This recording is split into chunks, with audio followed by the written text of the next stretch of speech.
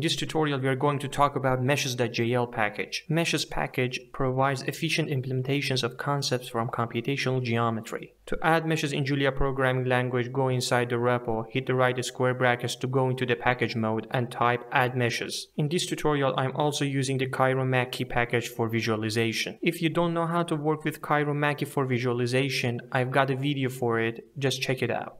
Now I use the using keyword to import the meshes package and also I import the CairoMakie package as MKE. As a starting point, meshes package has some fundamental data structures. One of them is points and the other is vectors. I explain them by example. For instance, in defining the points, I can pass different data types, double precision, single precision, and also note that integer is converted to float 64 by design. What do I mean by that? Integer coordinates are converted to float 64 to fulfill the requirements of most geometric processing algorithms, which would be undefined in a discrete scale. And also, a point is defined by its coordinates in a coordinate reference system from coordrefsystems.jl package. By default, the Cartesian coordinates with no data datum are used. I define two points A and B and also points can be subtracted to actually produce a vector. Also points by definition cannot be added together, but the vectors from the origin to the points can. In this case, we can use the to function. What does the to function actually do? We pass a point to the to function and it will return a vector from the origin to the point.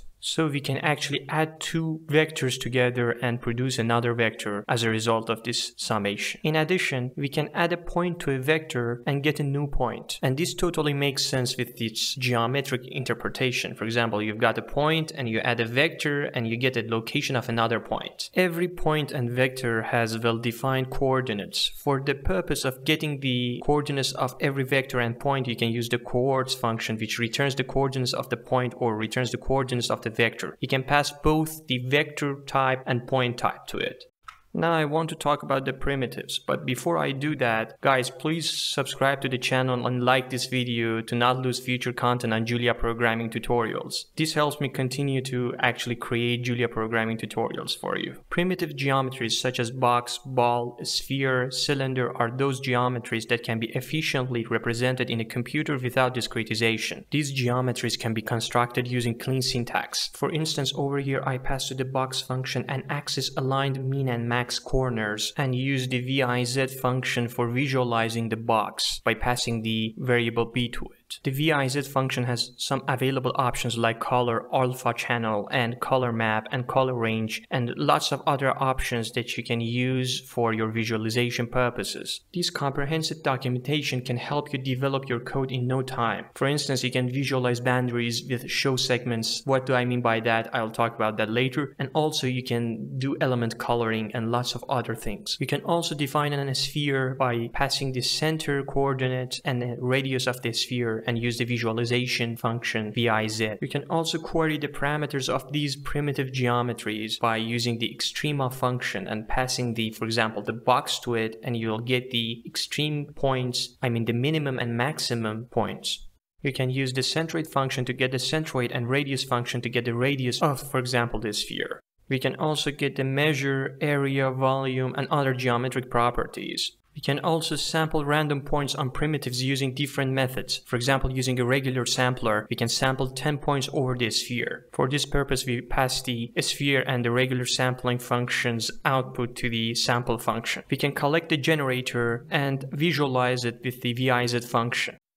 Now I want to talk about the polytopes. Polytopes are geometries with flat sides. They generalize polygons and polyhedra. In the meshes package, we've got segments, Ngon, for example, triangle and quadrangle, tetrahedron, pyramid, and hexahedron. For example, over here to define a triangle, I pass the coordinates of the three vertices of the triangle to the triangle function. Some of the geometries defined have additional functionality like measure or area. Over here, I pass the triangle to the measure function and calculate its measure or area. We can check whether the output of the area is equal to the output of the measure function by using the equal equal operator. And if you want to know whether a point is inside a triangle or not, we can use the set belongs to operator. You can define line segments and check their intersection by using the set intersection operator. Polytopes are widely used in GIS software under names such as line string and polygon, and Meshes package provides robust implementations of these concepts which are formally known as polygonal chain and polyarea. We can compute the orientation of a chain as clockwise or counterclockwise, can open and close the chain, create bridges between the various inner rings with the outer ring, and other useful functionality. For instance, I've defined a poly area over here and used the VIZ function to visualize it. And I can use the orientation function to pass the poly area to it and get the orientation from it. For example, if the output is CCW, it means counterclockwise. Basically, orientation returns the orientation of the geometry as either counterclockwise CCW or clockwise CW.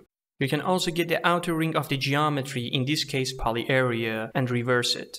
You can also get the vertices of the ring by using the vertices function and pass the ring to it. This means that we can index the vertices with indices that go beyond the range 1 till n vertices of the ring. This is very useful for actually writing several algorithms since you can access the things in the inner structure. You can also compute angles of any given chain no matter if it is open or closed by using the angles and passing the ring to it and the sign of these angles is a function of the orientation. In the case of rings or closed chains we can compute inner angles by using the inner angles and passing the ring to it and you can use the isSimple function to specify whether polygon is simple or not. Before I talk about the meshes, I want to say that please support this channel by liking this video and subscribing to my channel. Meshes package provides efficient, lazy mesh representations, for instance, Cartesian grid and simple mesh, which are specific types of the domain type. A domain is an indexable collection of geometries, for example, mesh. For instance, I define a grid by passing to the Cartesian grid the spatial discretizations I want in each axis and visualize the grid by using the VIZ function which has several options. Here I set the show segments to true. If I use the allocated macro which shows me the memory allocated to this actually function call, it shows the zero. It means that no memory is allocated for this function call. But still you can loop over the elements which are quadrangles in two dimensions function by using the collect and passing the grid to it. We can construct a general unstructured mesh with a global vector of points and a collection of connectivity that is stored the indices to the global vector of points. I define a set of points and use the connect function to connect them and make a triangle out of it or a quadrangle out of it and or a simple mesh out of it by using the simple mesh function and passing the triangles and quadrangles and the points to the simple mesh function. And of course, you can visualize the mesh by using the VIZ function and setting the show segments to true. You can also loop over the elements of the mesh function by using the collect function. For example, over here, the actual geometries of the elements are materialized in a lazy fashion, like with the Cartesian grid. Don't forget to like this video and subscribe to my channel. Please support the channel because I can continue to make Julia programming videos with your support only. Thanks for watching this video and as always, see you all later.